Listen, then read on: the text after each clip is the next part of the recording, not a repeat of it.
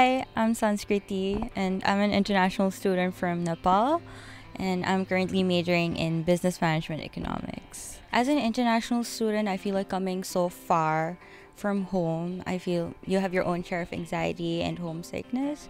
But I feel like the in community and environment here is very welcoming. I've started to work with ISSP as a global leader, so I'm meeting a lot of new people and I'm interacting with really people from diverse backgrounds. When I had my international orientation, I was really fascinated how like the global captains or leader were leading it and that.